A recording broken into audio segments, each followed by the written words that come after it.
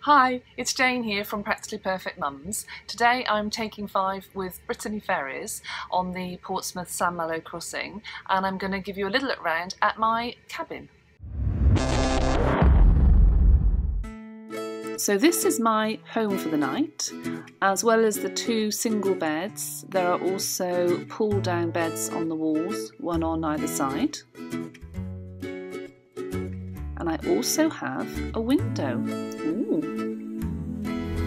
The last time I was in a cabin, we didn't have any windows, so even though it's night time, it's really nice to have a window.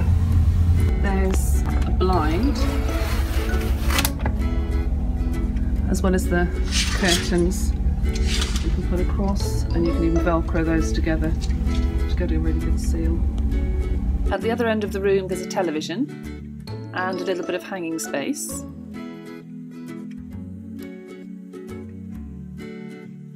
And through this door is the ensuite shower room. There's some basic things provided in here like soap.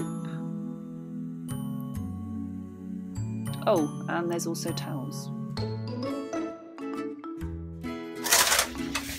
Okay, let's check the shower pressure. Not bad. And there's a hair and body wash dispenser as well, which is quite handy. I wasn't expecting that. So that's the ensuite. It's all pretty compact, but really everything that you would need for the crossing. There's tea and coffee making facilities here. Ah, and a European socket, so I'll have to remember to take my adapter out when I charge my phone later. The cabin sleeps four people with the two beds which are already in position and two pull down beds which are really easy, you just pull them down if you do anything else and you can just put a ladder up there for the bunk beds.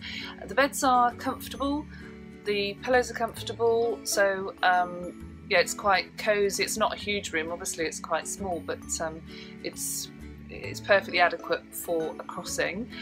Um, there is Wi-Fi on the boat, but it doesn't reach to the rooms. It's not great, it's a bit patchy, um, but you do get a code on your card with the Wi-Fi on it.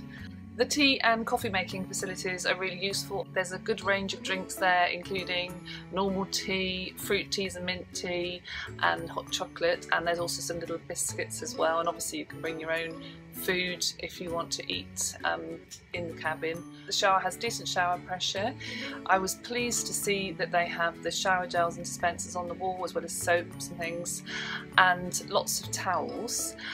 The um, mirror is really well lit which was really handy for doing makeup and it's just really nice having a cabin. Um, if it's an overnight crossing um, it's pretty much a given that you'll need a, a, cabin, but it's actually really lovely for the daytime crossing as well because it it gives you somewhere to chill out before we've got a I've got a quite a long drive back. It's a good couple of hours depending on the traffic. It took me four hours to get here because the traffic was really bad. So it's nice to know that I can have a relax um, before I have to get back in the car. Thank you very much for hosting me to Brittany Ferries. Uh, if you've enjoyed the video, please do subscribe and I'll see you again soon. Thanks for watching. Bye.